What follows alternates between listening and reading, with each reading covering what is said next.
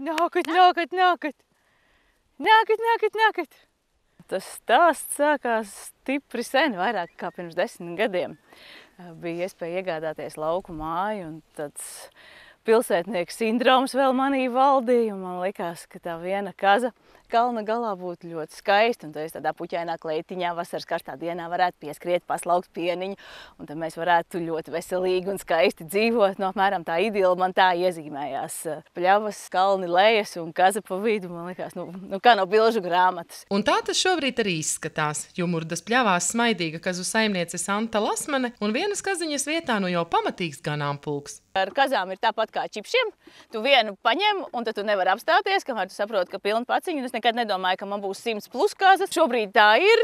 Tā kā tad, kad kādreiz atbrauc cilvēki un saka, ka vecumdienās tur vienu, divas, trīs kaziņas, tad es saku, nē, nē, sādzimas kazlēni, tie būs smuki, mīļi, skaisti. Un, un, un, un nu, ko tad ar viņiem naudzēs un atkal būs kazas? To Santa stāsta no savas pieredzes, jo sākotnēji gribējusi vien vienu kaziņu, bet mājās atbraukusi ar trijām. Tam sekojuši citi kazu stāsti. Zvans. Nu, viena cilvēka, kas dzīvo ērgļos, un šķūnītī ir kazas un mazi kazlēni ir, un saka, Santiņ, mums te mazie kazlēni, kaimiņu bērni ir izlutinājuši, nu, kā mēs viņu tagad liksim cepešu krāsnī, nu, tak paņem.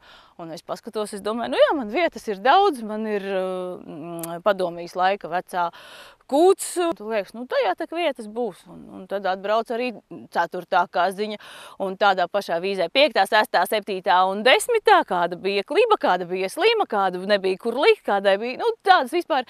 Es smējos, ka es esmu uztaisījis kārtīgi kazu patvērsmu un tagad es neko nesaprotu, ko ar viņām darīt. Paši jau bijām tā kā atzērušies un pārdzērušies to kazas pienu, un es sāku meklēt vēl veidus, uh, ko ar viņu darīt. Santa ir rīdziniece, līdz ar to viņas pieredzes stāsts laukos ir reizē gan nedaudz amizants, gan iedvesmojošs. Patiesībā tā man bija tāda pirmā saskarsme ar dzīvnieku kā tādu. Es biju vienreiz aizbraukus pie vienas meitenes pagaršot, kāds tas kazas piens ir. Man liekas, nu dzerams, nu, ja veselīgs, tad jau pavisam labi.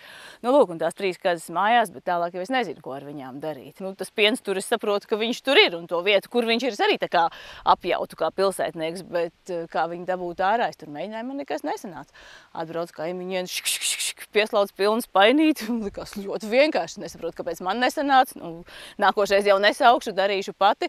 Nu, tad divu nedēļu garumā tas piens bija visur, tikai nespainītī, un tad kādā no reizēm kazai apnika tā mana čamāšanās, un tad es gaišā vasaras dienā redzēju, kā zvaigznes lido uz visām pusēm, un, un, un kādu brīdi negāju no mājas, jo acis bija riktīgi zila. Viņa, nu tā kā, bet iemācījos kazas laukt, un tagad es nevaru saprast, kā var nedabūt to pienu ārā.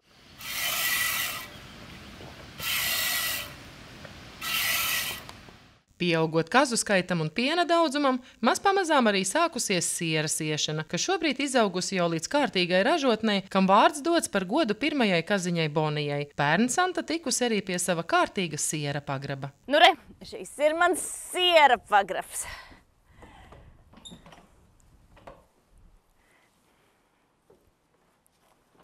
Dodamies pazemē.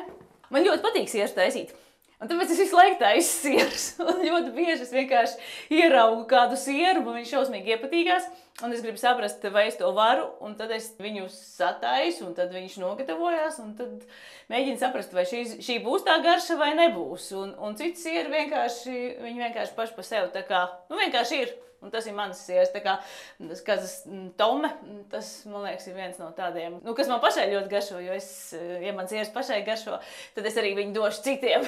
es nevaru pateikt, cik veidi, bet visinteresantākās ir šīs bumbiņas, Belperknola cietais šveices sieras. Gatavinās divus mēnešus un līdz gadam, jo ilgāk dzīvojās pagrabā, jo izsmalcinātāka garša. Un kā man viens sieras, siera degustētājs teica, šis nav riemais siers, šis ir baudāmais siers.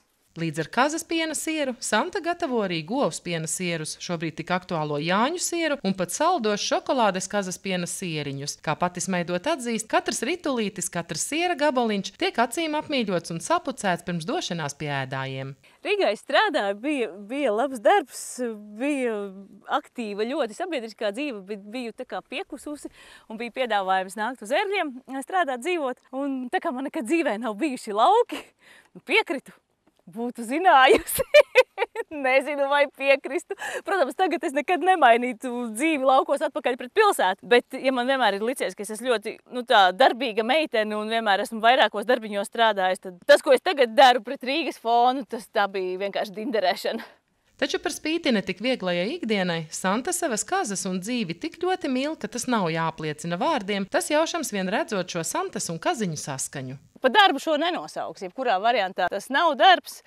Ja tas būtu darbs, tad droši vien būtu piekusons ļoti liels, jo tā diena sākās sešos, un ja es esmu desmitos mājās istabā vakarā, tad es esmu priecīga, jo, principā, nu, ja to uztver pa dzīvesveidu, tad ir labāk. Ar kazām ir viegli, ar kazām ir vajadzīgs labs noskaņojums, jo kazas ļoti jūt, tad, kad tu kādreiz atnāc pie viņām kreņķīgs, ja tev vajag fiksi, fiksi, fiksi, nu viņas dara visu iespējamo, lai tev nekas fiksi nebūtu un noskaņojums, lai būtu vēl sliktāks. Kad tu tāds priecīgs un laiks ir pāri, pāri galvai, tad viņas arī sadarbojas darbojās. Bet viņas tā kā, man, man šķiet, ka viņas vienkārši saka, tu savācies un tad nāc pie mums, mums nevajag tavs nepatikšanas. Jā, labdien. Nu, tādas viņas ir, redzi, buķīgas un vīlīgas. Sandra Zariņēlvis Cāzars, Red TV.